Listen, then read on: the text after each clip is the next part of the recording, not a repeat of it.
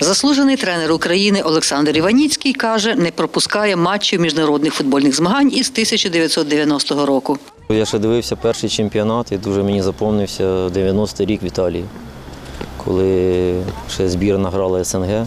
За його словами, він щодня проводить тренування в Полонській спортивній школі. Каже, повітряні тривоги раз по раз переривають заняття, гравці пропускають змагання, бо їздити в інші міста небезпечно. І коли через повітряні тривоги дивитися футбол вдома не зможе, переглядатиме матчі у власній Криївці. Так, в мене в гаражі все є. Телевізор, все, у мене є там і диван. Я стараюся дивитися всі матчі.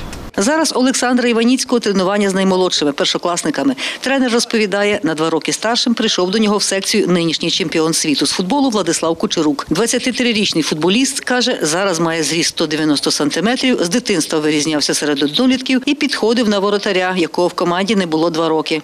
Я прийшов, ну він просто великан.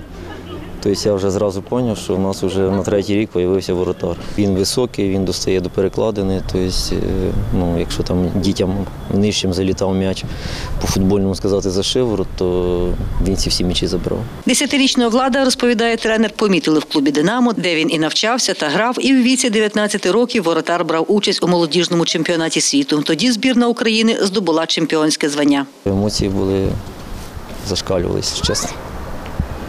Плакали, все всяке було.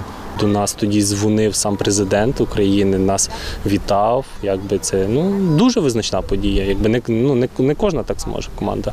Майстер спорту міжнародного класу Влад Кучерук перебуває в полонному. У воротаря закінчився контракт із клубом, і наразі його агент шукає йому команду. Чемпіонат світу каже, дивитиметься вдома з дружиною і другом. Розповідає, війна зламала в футбольному світі України всі графіки і плани. Із його слів, фізичну форму не запускає. То я тренувався е, з командою, яка тут є, колос полоне.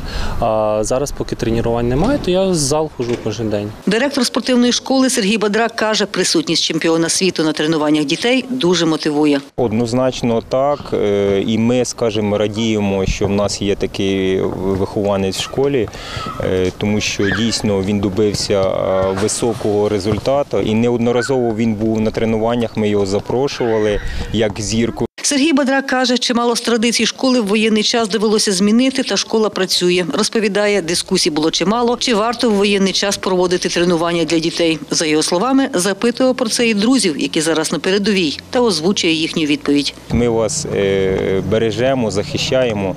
Є у вас можливість, то користуйтеся цією можливістю і е, займайтеся. І хай діти е, розвиваються, тренуються і ростуть. Ми тільки будемо, скажімо, раді.